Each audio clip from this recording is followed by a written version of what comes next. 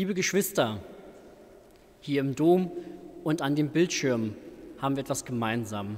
Wir sind verbunden im Gebet. Heute beten wir für das Gemeinsame. Wir beten für die Einheit der christlichen Gemeinschaft in der Welt. Wir sind mehr als die, die hier zusammenkommen oder an dem Bildschirm zusammenkommen. Im Gebet sind wir weltweit miteinander verbunden. So lasst uns miteinander diesen Gottesdienst feiern. Die Gnade unseres Herrn Jesus Christus und die Liebe Gottes und die Gemeinschaft des Heiligen Geistes sei mit euch allen. Und mit deinem Geist. Besonders begrüßen wir unsere evangelische Regionalbischöfin, Generalsuperintendentin Theresa Rienecker. Sie ist für die Predigt in diesem Gottesdienst aus Görlitz zu uns nach Fürstenwalde gekommen. Die Musik hier im Dom gestaltet Kantor Georg Popp mit Familie Noack. Und wir haben im Vorfeld einen ganzen Chor für Sie proben lassen. Sie dürfen gespannt sein. Und wer uns jetzt auf dem Bildschirm sieht, während des Gottesdienstes werden wir Ihre Gebetsanliegen sammeln.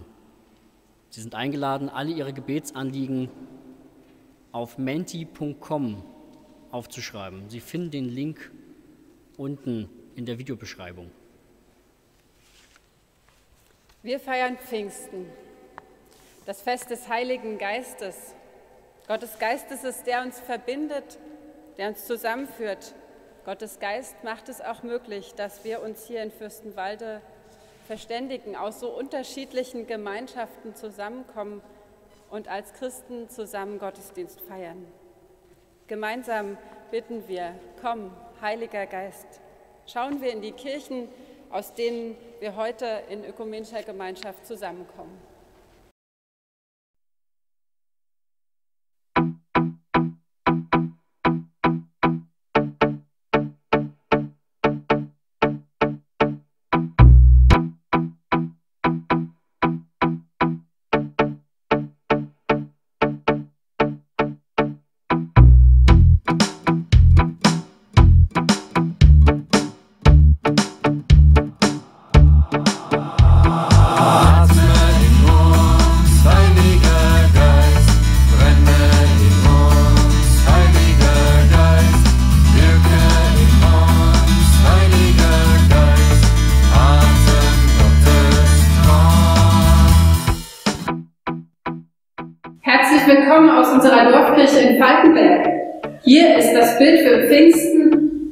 Für den Heiligen Geist mit kräftigen Farben gestaltet. Bei Heiliger Geist denke ich an die Kraft, die Menschenherzen verändert, an eine Kraft Gottes, die Menschen mit unglaublichen Fähigkeiten begabt. Komm, Heiliger Geist.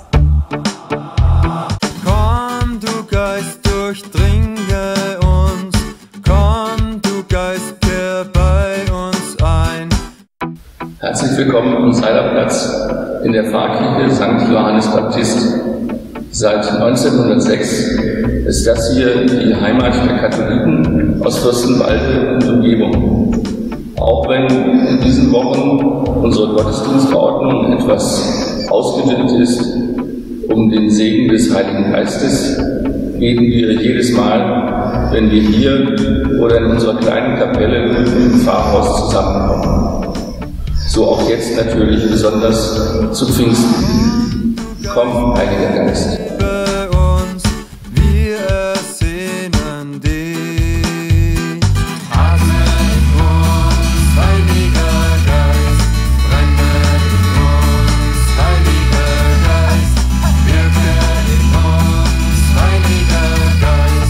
Ein herzliches Willkommen aus der Adventgemeinde.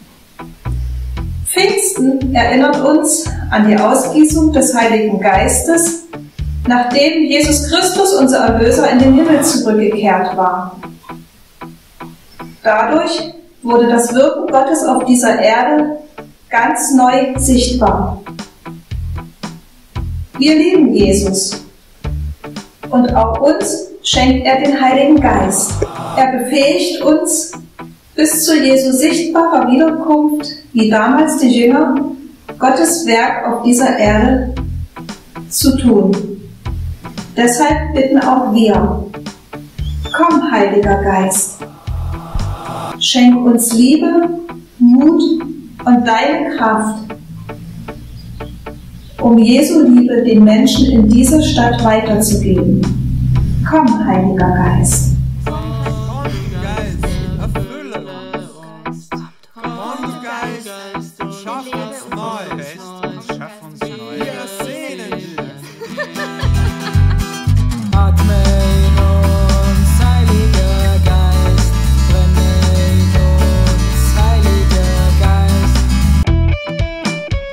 Sind hier in der Domnotkirche der umgebauten. Äh, Das ist das Domizil der evangelisch-freikirchlichen Gemeinde. Und der Heilige Geist ist für uns ein Teil der Dreieinigkeit Gottes. Das ist die Kraft Gottes, die jetzt unter uns wirkt und uns befähigt, unsere Gaben und die Gaben, die Gott uns auch geben will, noch zu gebrauchen und einzusetzen. Der Heilige Geist macht uns erst fähig, an Gott zu glauben und Jesus als unseren Herrn anzunehmen. Komm, Heiliger Geist.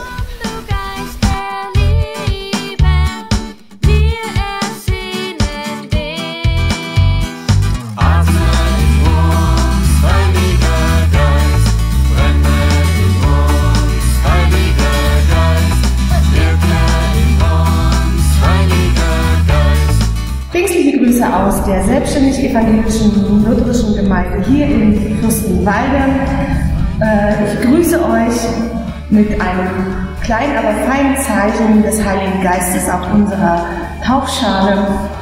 Für uns symbolisiert der Heilige Geist der Geist der Liebe, der uns im Gebot der Nächstenliebe über uns hinauswachsen lässt und der Geist der Zuversicht, der uns die Gewissheit gibt, dass unser Herrgott alles zu unserem Seelenheil fügt. Komm, Heiliger Geist.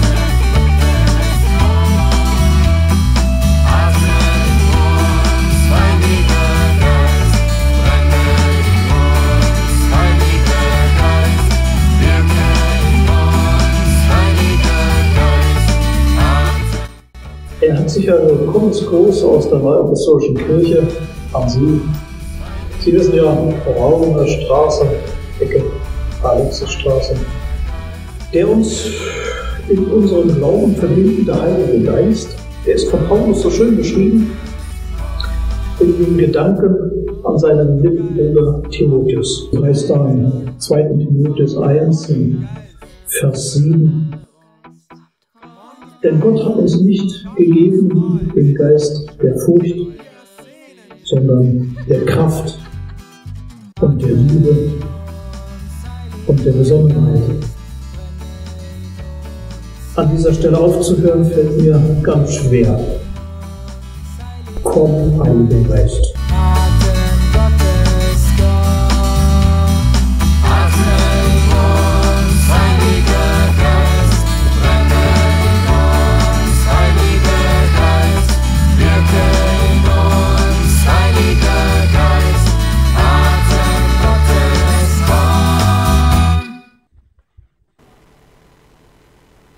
Nun sind wir hier im Dom in Fürstenwalde angekommen. Gemeinschaft leben ist aber nicht immer so leicht. Das ist im Alltag immer wieder spürbar, besonders aber in den letzten Wochen und Monaten, als so viele zu Hause bleiben mussten und die häusliche Gemeinschaft ganz neu erfinden mussten. Auch zwischen Christinnen und Christen ist Begegnung manchmal schwer. So lasst uns Gott um Vergebung und Veränderung bitten und jeweils bei den Bitten gemeinsam nachsprechen, Herr, erbarme dich. Vergib uns, Herr, wo wir als Christen aus verschiedenen Kirchen und Traditionen einander mit Misstrauen begegnet sind und uns falsch verhalten haben. Herr, erbarme dich. Herr, Herr, erbarme erbarme dich. Vergib uns, Herr, dass wir im Dunkel verharren, anstatt den Weg des Lichtes zu suchen. Denn du, o Herr, bist das eine wahre Licht. Herr, erbarme dich. Herr, erbarme dich. Vergib uns, Herr, unseren Mangel an Glauben und unsere Unfähigkeit, Hoffnung weiterzugeben, und Nächstenliebe zu üben. Herr, erbarme dich. Herr, erbarme dich. Vergib uns, Herr, dass wir anderen Schmerz, Not und Angst bereitet haben. Herr, erbarme dich. Herr, erbarme dich. Vergib uns, Herr, dass wir verschlossen und gleichgültig blieben, anstatt allen, besonders aber Fremden und Flüchtlingen gegenüber gastfreundlich zu sein. Herr, erbarme dich. Herr, Herr, erbarme erbarme dich. Gnädig und barmherzig ist der Herr, geduldig, von großer Güte. Denn so hoch der Himmel über der Erde, so hoch ist seine Huld über denen, die ihn fürchten. So weit der Anfang entfernt ist vom Untergang, so weit entfernt er die Schuld von uns. Amen. Gut, dass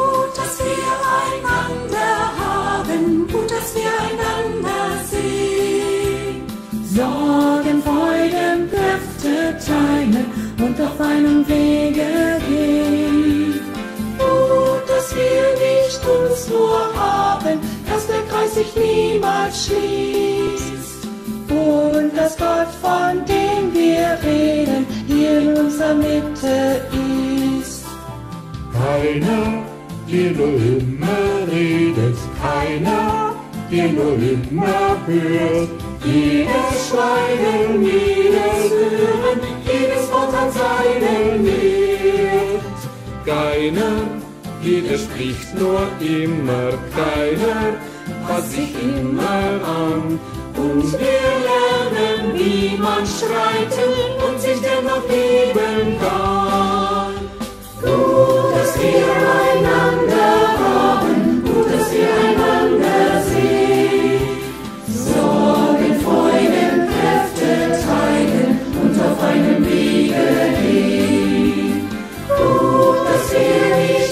nur haben, dass der Kreis sich niemals schließt.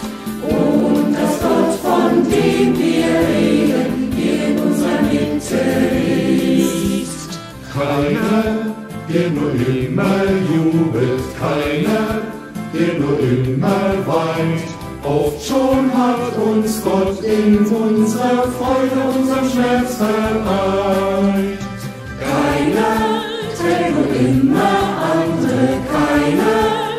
Nur immer lost. Jedem wurde schon geholfen, jeder hat schon angefasst.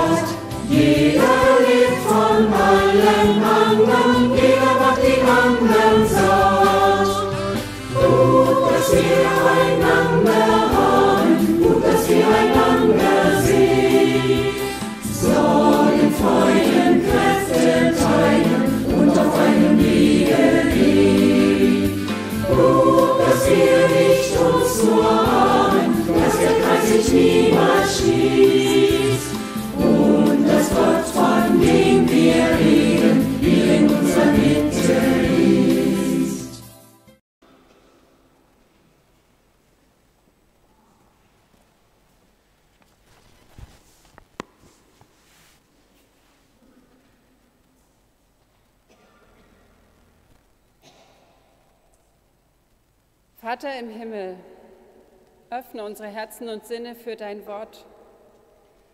Dein Wort ist Geist und Leben. Führe uns in Einheit und Liebe zusammen. Dein Wort ist ein Licht auf unserem Weg. Ich lese uns die Lesung aus dem Evangelium nach Johannes. Dieser Text wird auch Grundlage der Predigt sein. Wir finden ihn im 20. Kapitel. Am Abend dieses ersten Tages der Woche, als die Jünger aus Furcht vor den Juden bei verschlossenen Türen beisammen waren, kam Jesus, trat in ihre Mitte und sagte zu ihnen, Friede sei mit euch. Nach diesen Worten zeigte er ihnen seine Hände und seine Seite. Da freuten sich die Jünger, als sie den Herrn sahen. Jesus sagte noch einmal zu ihnen, Friede sei mit euch. Wie mich der Vater gesandt hat, so sende ich euch. Nachdem er das gesagt hatte, hauchte er sie an und sagte zu ihnen, Empfangt den Heiligen Geist, denen ihr die Sünden erlasst, denen sind sie erlassen, denen ihr sie behaltet, sind sie behalten. Wort des lebendigen Gottes. Dank Gott sei sei Gott, der der rettet rettet und und heilt. heilt.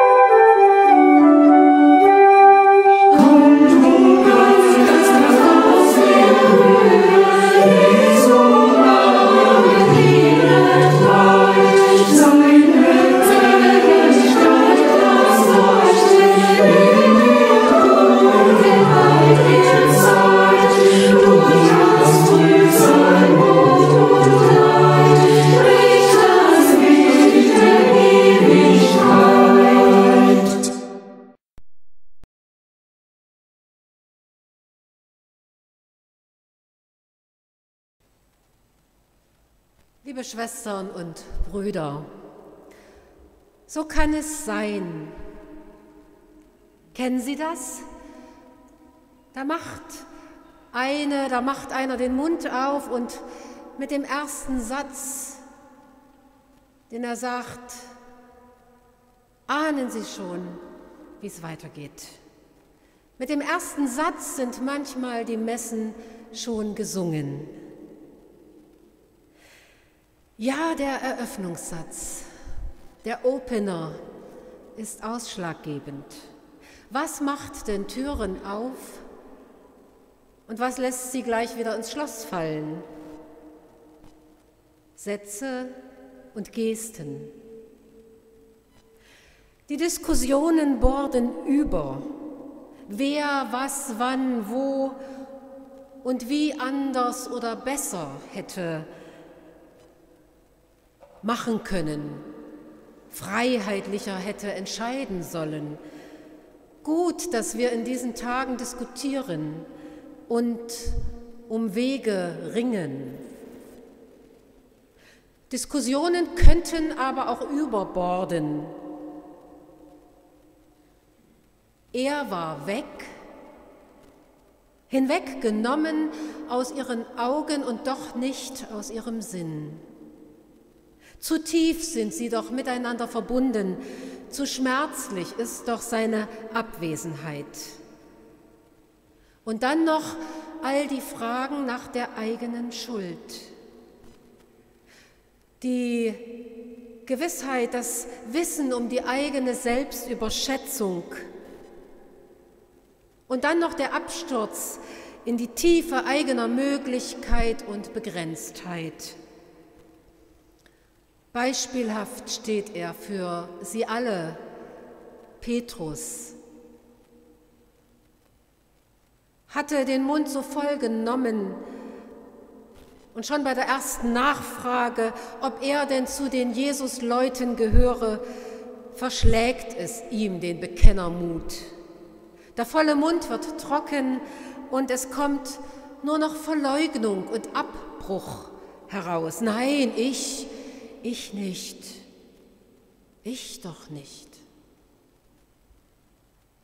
Und dann, wir haben es im Evangelium gehört, Wiedersehensfreude. Da gäbe es allerhand zu besprechen beim Wiedersehen. Allerhand wäre da auch noch einmal kritisch zu bedenken, allerhand Enttäuschung. Aber der Opener aus Jesu Mund ist ein anderer. Hört. Am Abend, da die Jünger voller Furcht versammelt waren, kam Jesus und trat mitten unter sie und nein, er sprach nicht, sondern er spricht. Kam Jesus und trat mitten unter sie und er spricht. Zeitenwechsel. Hier und jetzt Fürstenwalde und Frankfurt, Friezen, Luckau, Berlin, die Nachbarschaft. Hier, hinter den wirklichen Türen und denen der Herzen, hinter allen Distanzierungen und Abständen, hier spricht er gegenwärtig. Und er sagt, Friede sei mit euch. Und er sagt es und es bleibt dabei. Es bleibt dabei und fällt nicht ins Reden von den letzten Tagen und Wochen. Er bleibt dabei und wiederholt es, damit Sie vielleicht hören und es verstehen können. Es bleibt dabei, Friede sei mit euch. Das ist der pure ausgesprochene Freispruch. Das ist der Neuanfang, das Ende aller Aufrechnung und Versäumniszählereien. Jesus tritt ein und spricht und bringt und macht Frieden im Herzen und mit sich und untereinander und mit Gott. Wenn das Wort des Auferstandenen kommt, dann ist da nur noch Freude. Du bist im Frieden. Aus diesem Zuspruch heraus, wir haben es gehört, werden die Jüngerinnen und Jünger dann beauftragt und mit dem Hauch des Auferstandenen beseelt. Heiliger Geist, Atem der Ewigkeit aus dem Mund des Auferstandenen, Wiederbegegnung, Worte des Heils, Sünd ist vergeben. Halleluja. Auch das ist also pfingstlich. Nicht nur Begeisterungsstürme und Vielsprachigkeit auf den Plätzen und untereinander, nicht nur Völkerverständigung, sondern auch Herzensfriedfertigkeit, Freudigkeit, Vergebung. Vergebung, die wir nicht erringen müssten und die wir nicht in vielfältigen Diskursprozessen erringen müssten.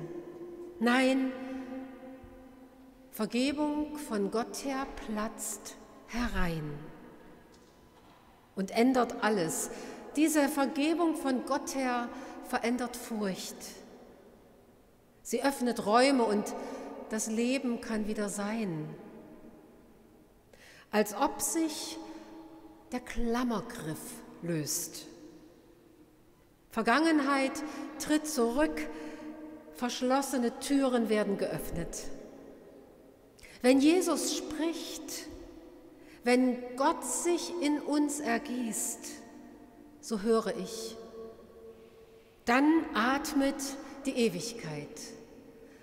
Und alles, was ist, wird uns zu sprechender Erfahrung. Aus dieser heraus werden Jüngerinnen und Jünger, werden andere, sie werden Nachfolgerinnen und Nachfolger. Nun gehen sie dem Meister nicht mehr äußerlich nach. Sie müssen nicht mehr schauen, was die Autorität macht und von ihr abschauen, um dann zu wissen, was zu denken und zu sagen ist. Sie sind nicht mehr von den Netzen hinweggerufene. Jetzt nicht mehr. Jetzt sind sie Gesandte. Sie sind geschickt, ausreichend ausgestattet mit dem göttlichen Geist, der in sie hinein ausgesät ist. Ausgesät in sie Funken von Frieden und Vergebung. Ach, mögen sie doch ausgesät sein, diese Funken, in unseren Familien, in unseren Städten und Dörfern, mögen sie doch ausgesät werden, in Wisconsin und Minnesota. Mögen sie doch ausgesät werden. Welchen Ort sollte ich jetzt eigentlich nicht nennen können? Funken von Vergebung und Frieden. Ach, dass dieser Funke auch in mich hineinkommt. Ach, dass wir im Frieden zwischen Gott und untereinander leben und dem Trauen, dass wir, wenn wir Bruder und Schwester sagen, das auch meinen. Liebe Schwestern und Brüder, wir feiern heute ein Fest des Wiedersehens. Christus feiert mit uns sein Fest des Wiedersehens, ein Fest des Neuanfangs. Und es beginnt, wie auch am Anfang seiner Lebensgeschichte, mit einem Opener. Friede sei mit euch. Amen.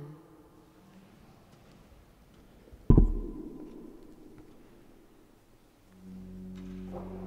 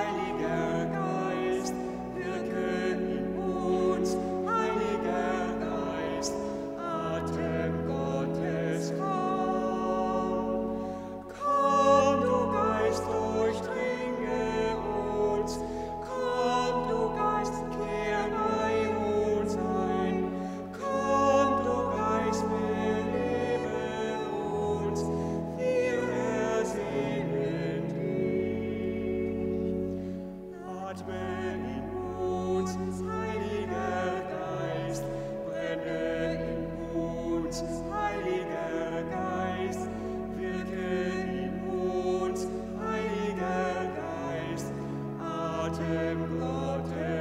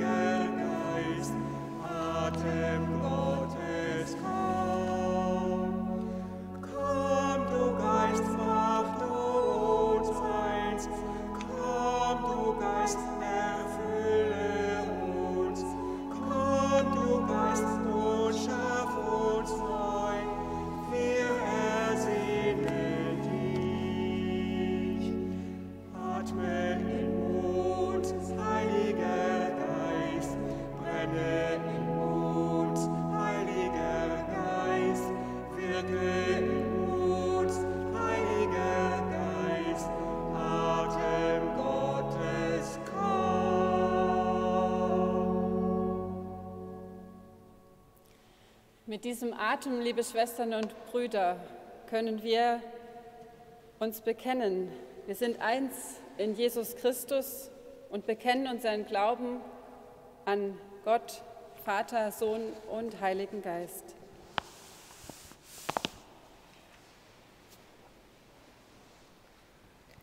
Wir glauben an den einen Gott, den Vater, den Allmächtigen, der alles geschaffen hat, Himmel und Erde, die sichtbare und die unsichtbare Welt.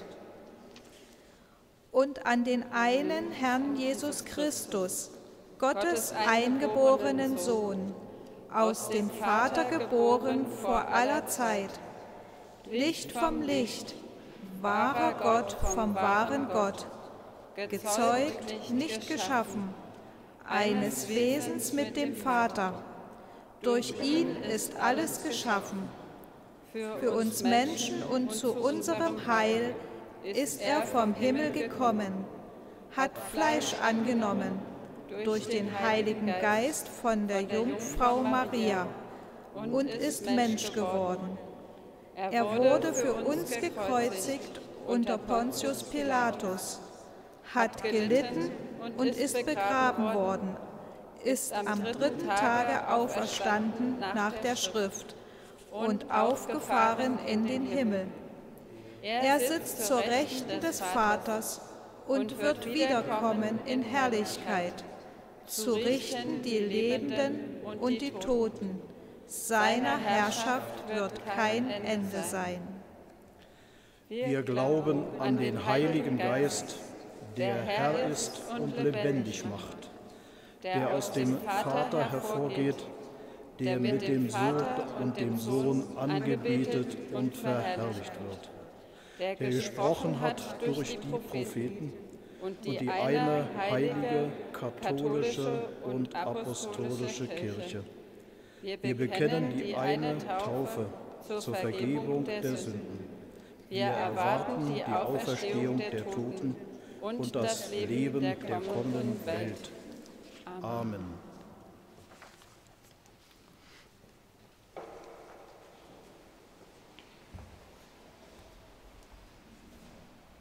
Liebe Geschwister, ich darf schon heute einige Einladungen aussprechen und da wage ich einen weiten Blick voraus, und zwar auf den Pfingstempfang und den Pfingstgottesdienst im Jahr 2021.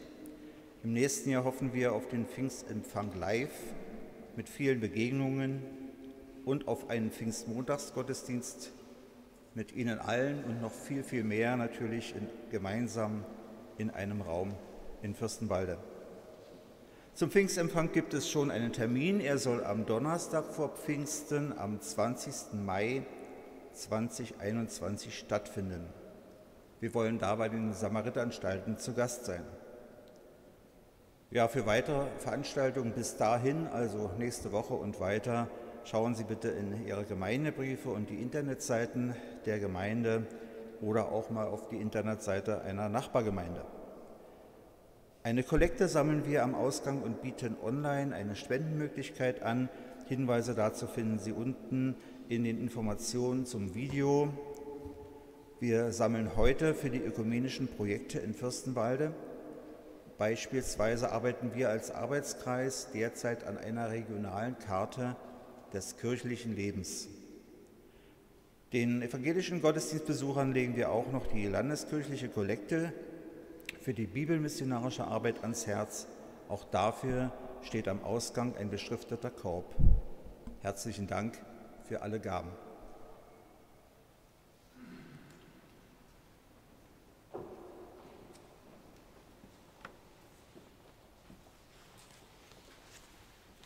Liebe Gemeinde am Bildschirm und hier im Dom, wir wollen nach dem nächsten Orgelstück in der Fürbitte füreinander und miteinander beten. Ihre Anliegen haben uns schon erreicht, es dürfen gern noch weitere Anliegen werden. Sie wissen schon, unten in der Videobeschreibung finden Sie den Link zu menti.com, schreiben Sie es da rein und dann nehmen wir es gerne mit auf.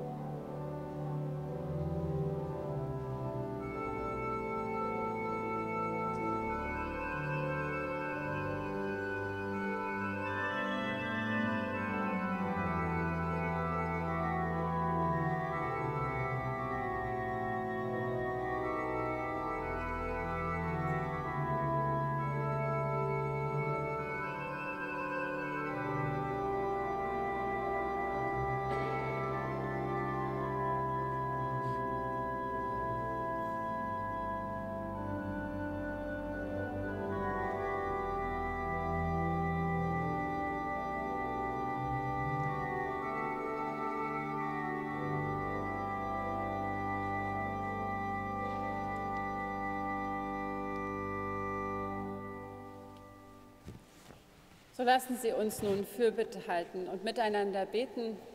Wer kann, mag dazu stehen.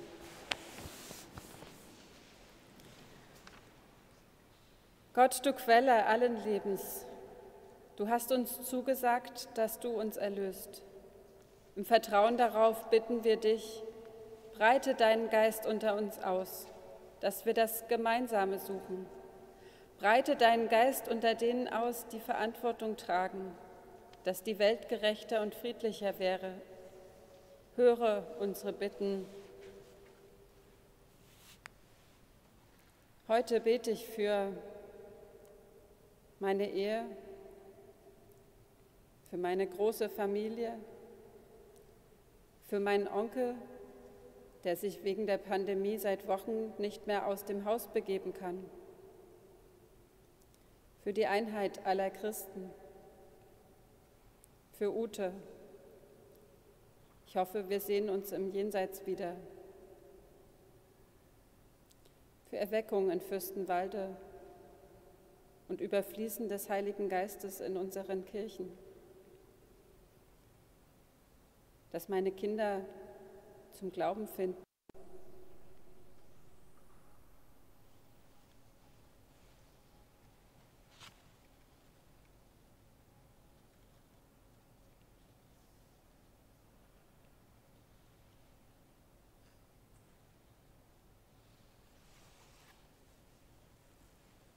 Dass du, Heiliger Geist, uns frei machst.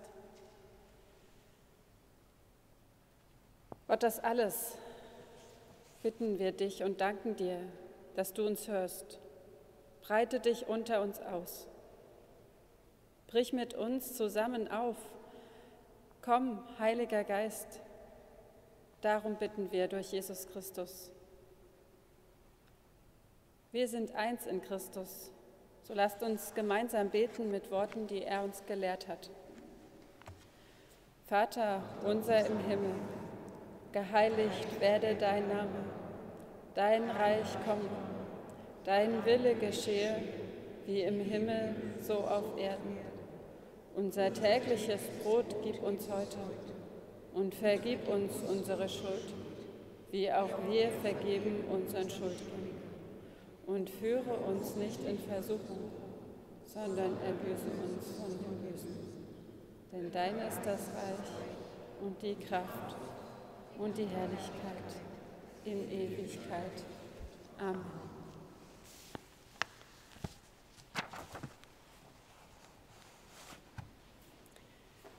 Wir bitten hier nun gemeinsam um Gottes Segen. Und ich bitte Sie mehrmals dann jeweils zu antworten mit Amen. Wir sind zusammen Jüngerinnen und Jünger Jesu. Wir sehnen uns nach dem Geist der Erneuerung. Wir wollen uns für das Gemeinsame einsetzen. Gott, der Vater, hat uns aus der Finsternis ins Licht gerufen. Er mache uns zu wahren Trägern seines Lichts. Amen. Amen. Gott der Sohn hat uns durch sein kostbares Blut erlöst. Er gebe uns die Kraft, seinem Vorbild zu folgen und anderen zu dienen. Amen. Amen. Gott, der Heilige Geist, ist Herr und Lebensspender. Er stärke uns, damit wir die Schiffbrüche des Lebens überstehen und das Ufer des Heils erreichen. Amen. Amen. Der allmächtige und barmherzige Gott, Vater, Sohn und Heiliger Geist, segne und bewahre uns jetzt und in Ewigkeit. Amen. Amen. Wir machen uns gemeinsam auf den Weg, um die Wunder der göttlichen Liebe zu verkünden. Amen. Amen. Halleluja. Halleluja. Amen. Amen.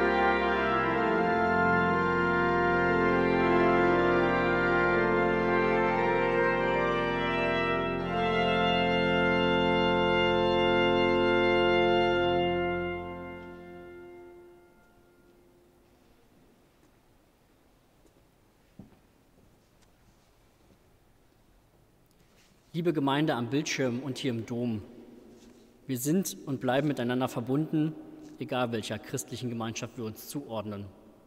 Schön, dass Sie mit uns mitgefeiert haben und diese Gemeinschaft mitgefeiert haben.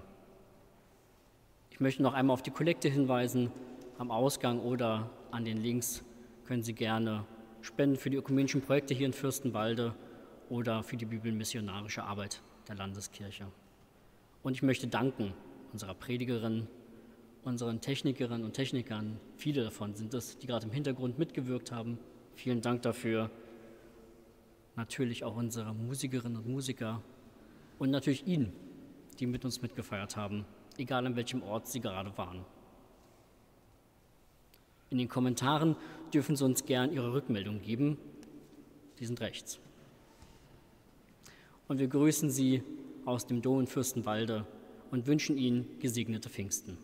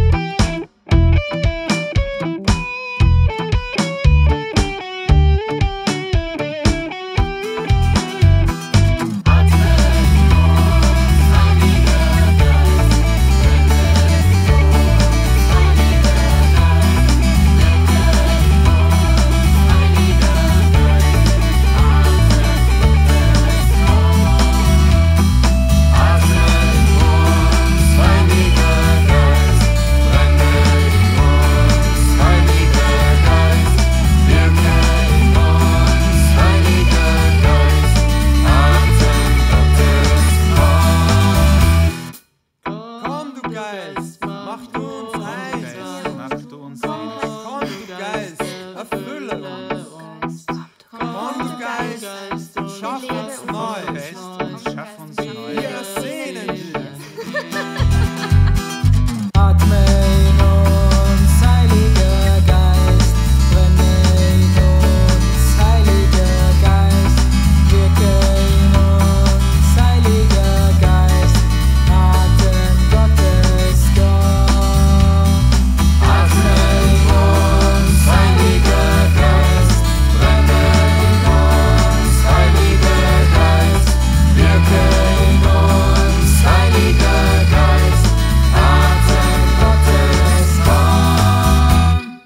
Jetzt habe ich es auch irgendwie anders gemacht.